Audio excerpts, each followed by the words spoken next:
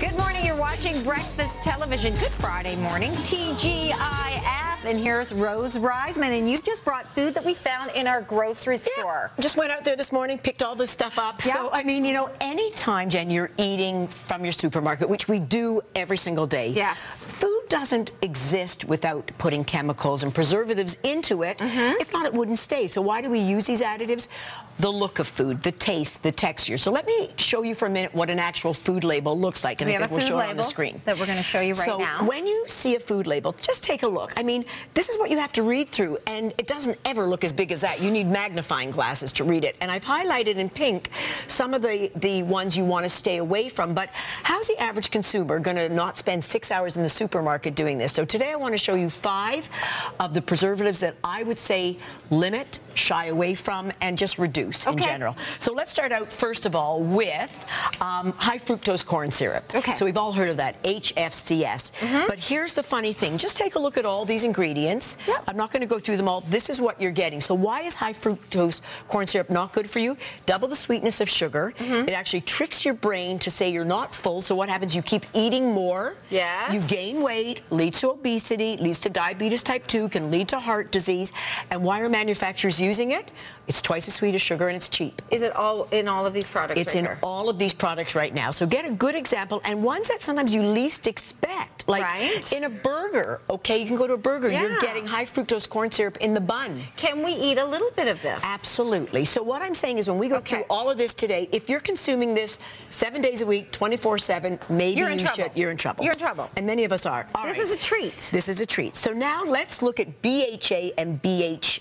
BHT. Okay. Now, pronouncing it is too hard, so I'm going to say just remember the three initials, and you'll find it usually at the end of the label, the very last product.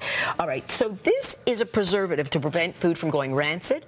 Uh, They- they- they have to use it They have they to use it. yeah. But it also keeps the color, the flavor, and the texture of food, Uh-huh. okay? The problem with this is that it's known as a carcinogen.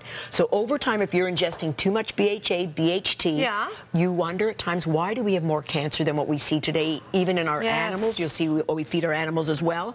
These BHA, BHT has been banned in the UK and most of Europe and New Zealand. We're still allowing it in North America. So if they ban it, what could they use as a as an alternative? Well, you have to find another preservative. You have to find, I mean, think of natural preservatives, salt, vinegar, citrus, Yes. sugar. This is what we have to do. And many products, organic products on the market don't have it, and they can still stay on the shelves longer. it really makes you think. Okay, Okay. let's move on. Sodium nitrate. We all know that. Sodium nitrate is definitely cancer-causing nitrate, nitrates. Mm-hmm. You find it in deli meats, bacon, hot dogs, um, even in a burger when you've got this. What's wrong with it? It colors your food. It gives you too much sodium, so it can lead to high blood pressure. Mm-hmm. But most of all, stomach cancer, colon cancer is related to high sodium diets. Okay. So you got to be careful of that. All right. MSG. So what's interesting here is you look for MSG. We all know Chinese food syndrome, monosodium glutamate. Yes. You get the tingling down the back, the headaches, your heart starts beating, you get sweaty. I mean, I remember that in Chinese food restaurants. Well, So now when- you see no MSG M- Okay, but wait. So now when you go in, I was looking for MSG in all these products and I didn't see it. And I scratched my head going, what's going on? There's 20 different names for MSG today. Oh, really? So here you go. These are the three to look for. Yeast extract. So I heard yeast extract. I went, it's yeast. No, it's, It's a form yeast. of the MSG. Oh. Textured vegetable protein and hydrolyzed vegetable protein. So all of these products here have MSG in them.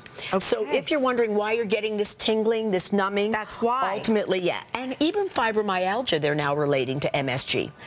Let's finish off with food coloring. All right. Your kids bouncing off the wall, ADHD, whatever else. Yeah, it's a big problem. It is a big problem. And think about all the foods today we have with color.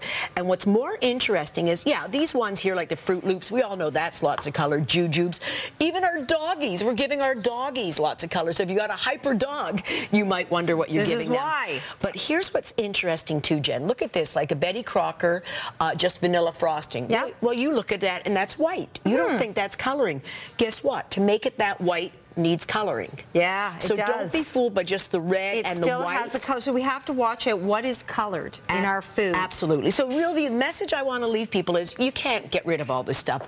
But again, just look at your labels. So we can still have a few You can still from have a few time to jujubes. time. Look at Look at the labels, but try to, and you can't even read read the packaging. It's so hard to read it, but just Be aware, Be aware. and read your labels. Know what you're putting into your body, and you know. Absolutely. And the more at home you make things, oven roasted turkey, not pastrami, the better you're going to be for it. RoseReisman.com for all the information. Thank you so much Thank for uh, giving us all this great information. and you can go to breakfasttelevision.ca as well. We're heading into you, Kev.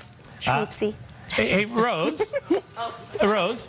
I just wanted to ask Rose a question there, Jen. Yeah? Um, carrageenan. Is I'm not sure if I'm saying that right, but Yeah. Beth and I are into almond milk.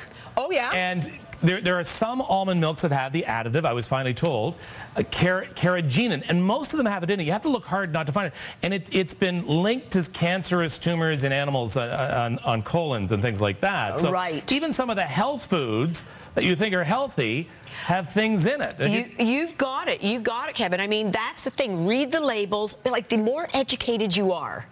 So that's great that you looked at that and you just didn't accept the fact that, oh, almond milk, oh, it's, we did, though. it's totally healthy. We accepted it for a long time until You someone did. finally then- smartened us up to it. And then what woke you up to that? It, it was a tra- our trainer who, who had said it. Okay. And basically, what our rule of thumb now is if we don't know what it is and we can't pronounce it, we don't buy it.